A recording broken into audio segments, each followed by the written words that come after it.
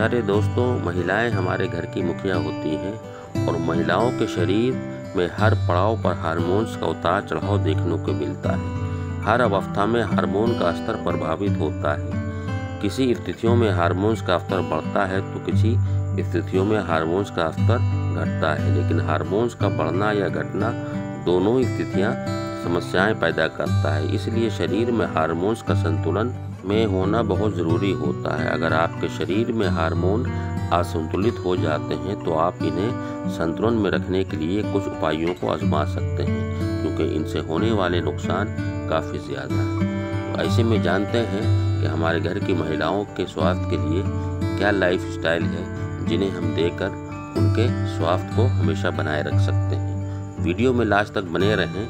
और जानकारी और वीडियो पसंद आए तो इसे अपनों में ज़रूर शेयर करें हेल्दी लाइफ स्टाइल के लिए साजिद हसन हेल्थ चैनल को।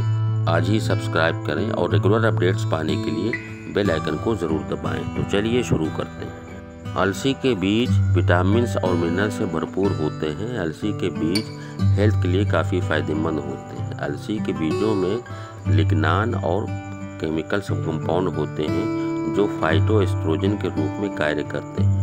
शरीर में हार्मोन के स्तर को बढ़ाने के लिए आप अलसी के बीजों का सेवन या समुद्री सलाद या फिर रोस्ट करके खा सकते हैं। इतना ही नहीं, अलसी के बीजों में पाए जाने वाले पोषक तत्व कैंसर के जोखिम को भी कम करने में मदद करते हैं। अब बात कर लेते हैं ड्राई फ्रूट्स की। ड्राई फ्रूट्स भी पोषक तत्वों से भरपूर होते हैं। इनमें फाइबर, प्रोटीन, मैग्नीशियम काफ़ी अच्छी मात्रा में पाए जाते हैं अगर आपके शरीर में हार्मोन असंतुलित हो गए हैं तो आप अपनी डाइट में ड्राई फ्रूट्स को ज़रूर शामिल करें।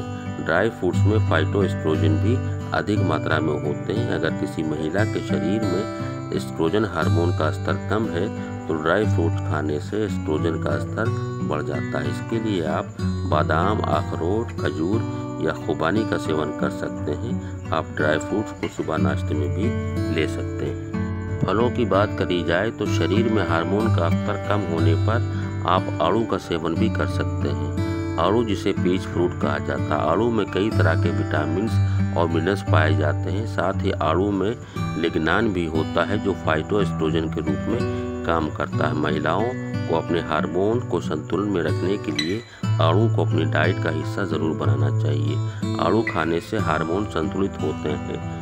साथ ही अन्य स्वास्थ्य समस्याओं में भी आराम मिलता है। इतना ही नहीं आलू खाने से कैंसर के जोखिम को भी कम किया जा सकता है। इसके साथ ही जामुन है, टोफू है और सोयाबीन जो कि किचन में होता है महिलाओं के, इसका भी सेवन लगातार करना चाहिए।